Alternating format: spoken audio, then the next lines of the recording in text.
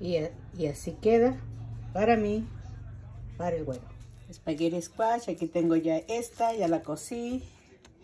Carne, meatball con salsa alfredo. Y acompañada con queso parmesano.